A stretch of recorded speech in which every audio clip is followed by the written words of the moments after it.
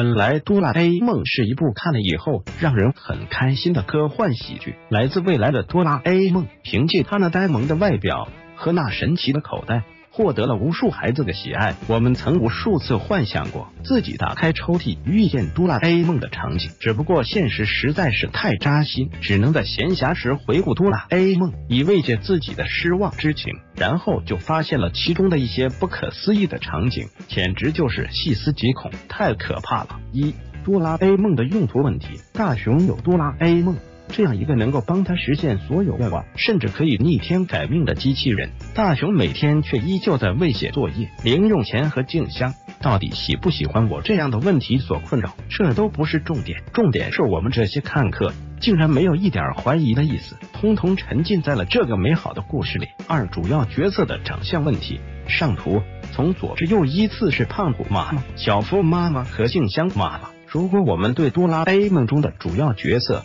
稍微有点印象就可以发现，他们和他们的妈妈简直就是一模一样，唯一的差别就是发型不同。这种实力全是亲生的方式，我不得不服。三大雄的智商问题，大雄其实是一个很聪明的人，因为一个每次都有把握让自己主动考零分的人，一个手脚灵活可以用脚趾玩平衡球的人，一个可以主动从四次元口袋掏东西的人，一个可以瞬间反应自己